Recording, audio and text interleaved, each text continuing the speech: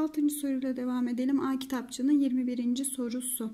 A kabında bulunan karışımdan 15 kilogram, B kabında bulunan karışımdan 10 kilogram alınarak başka bir kapta karıştırılıyor.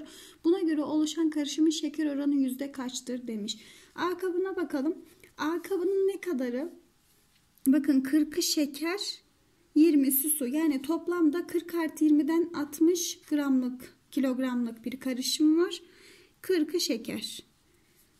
B'ye bakalım. B'de 60'lık şeker var.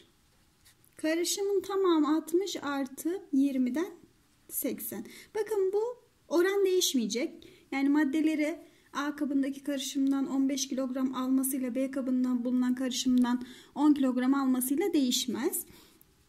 Şimdi A kabından 15'ti. 15 çarpı şeker aynı 40 bölü 60 artı B'den 10'du. 60 bölü 80. Bu neye eşit olacak? Bakın 15 bundan almış. 10 da bundan almış. Yeni karışım 25 kilogram. X bölü 100'e. Değil mi? Yeni karışımın şekerini soruyor bize. Düzenleyelim bakın. 15'e bölsem 4, 40'ı 4'e bölsem 10. Artı burası da şunlar giderse 60 bölü 8, 15 bölü 2 gelir. Burayı da sadeleştirirsem x bölü 4 gelir. Düzenlediğim zaman 10 çarpı 2'den 20 15 daha 35 bölü 2 x bölü 4'e eşit olur. Sadeleştirirsem 2 35 çarpı 2'den x ne gelecek? 70. Cevap 70.